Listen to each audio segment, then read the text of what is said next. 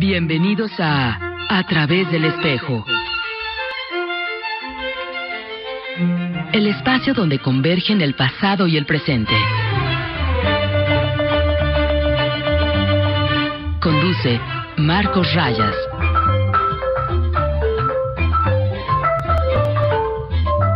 Comenzamos.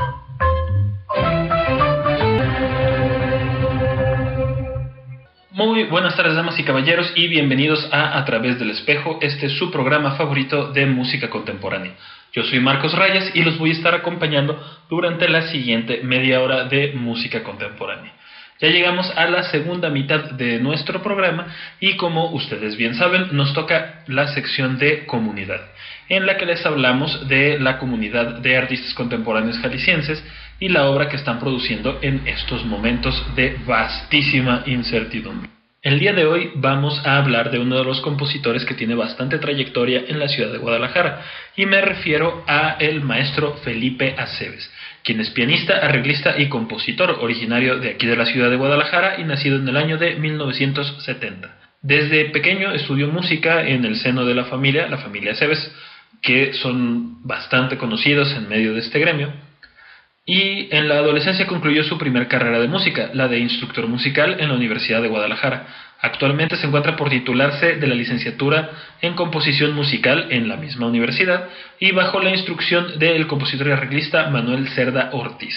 En su formación pianística figuran grandes nombres como Yolanda Cruz, Consuelo Medina Guerrero, José de Jesús Oropesa y Manuel de la Flor, Friedman Kessler y también la maestra Rosa María Valdés. Ha formado parte de muy diversos proyectos musicales, tocando música clásica, ópera, jazz, tango, rock y música afroantillana. Nombres de sus proyectos figuran algunos muy conocidos como Jazz Street, Jazz Lab, Tierra Tango, La Fachada de Piedra, Sonora San Francisco, Cuarteto Cheloquio, solo por mencionar algunos. Y con todos estos ha estado haciendo conciertos por todo el país y ha llegado inclusive a Lima, Perú. Recientemente, obviamente antes de que empezara la pandemia, con Tierra Tango también tuvieron el gusto de estar en el Festival de la Música de la ciudad de Campeche. Actualmente trabaja como el pianista acompañante del coro Los Niños Cantores de Zapopan, que como ya habíamos mencionado en, de otros compositores en otros programas, siempre resulta interesante el compromiso de los compositores hacia las nuevas generaciones. Antes de cederle el micrófono al mismísimo maestro Felipe Cebes, me gustaría recordarles que ya tenemos nuestra página oficial de Facebook.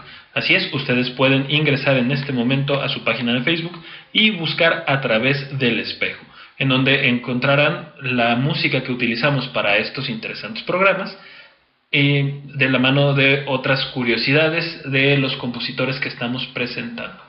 Sin más, pues los dejo que el mismo maestro Felipe Aceves sea quien les presenta su vasta producción de música de cámara. Este es el cuarto movimiento de mi cuarteto para cuerdas, que es un pequeño cuento o narrativa donde describo con música lo que vivimos a diario al ir a dormir hasta que amanece. El primer movimiento lleva por título Crepúsculo, el segundo Reflexiones en la noche, el tercero Mientras duermes, y este que vamos a escuchar, que es el cuarto, se titula Alborada.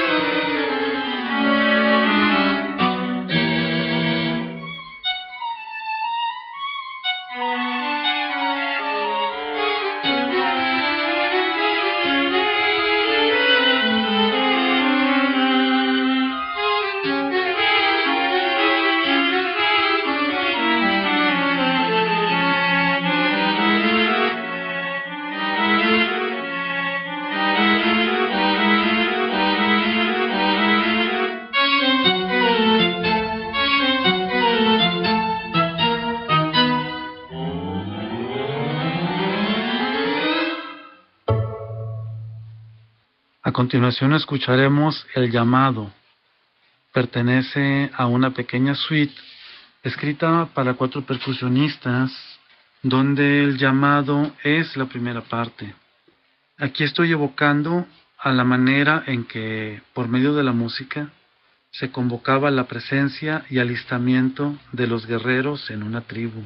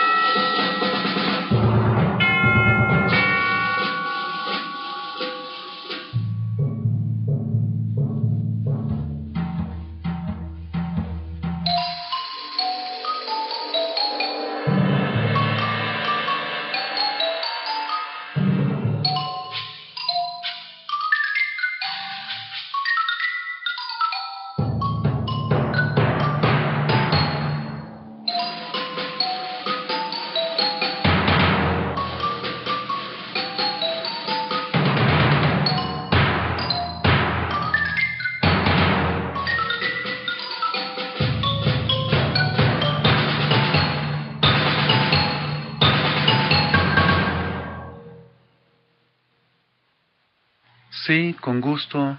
A continuación les presento una de mis piezas favoritas. Se trata de la segunda parte de una pequeña suite para instrumentos de la familia de viento madera. Confieso que son de los instrumentos que más me ha gustado trabajar. De hecho, yo fui flautista en un tiempo, a la par del piano. Bueno, espero que les guste tanto como a mí esta pieza.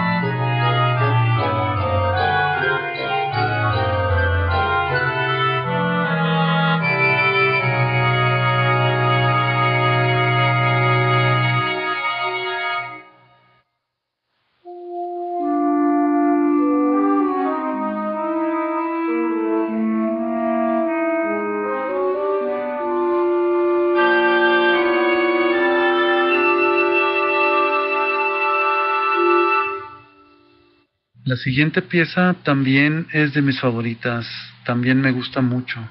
Escrita para orquesta de cámara, la obra consta de dos partes y está basada, inspirada en el libro, la novela de Gabriel García Márquez, Crónica de una muerte anunciada. La primera parte lleva por título La boda y esto que vamos a escuchar es la segunda parte, que se titula La muerte de Santiago Nazar.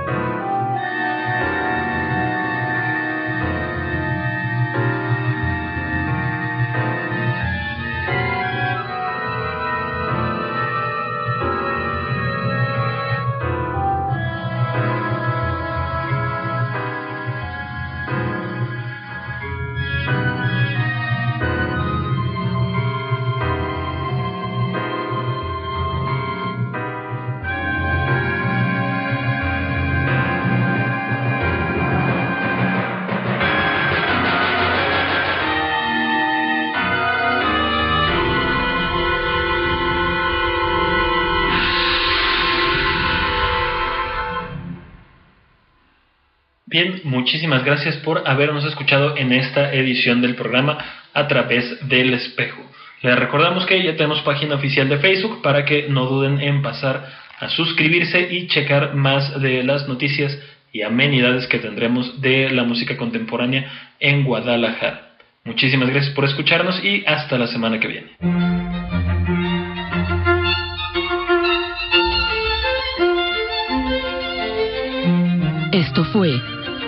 Través del espejo. De lo clásico a lo alternativo, más allá de la cámara. Un viaje del pasado al presente. Te esperamos el próximo viernes a las 5 de la tarde en JB Clásico, en el 96.3 FM de Jalisco Radio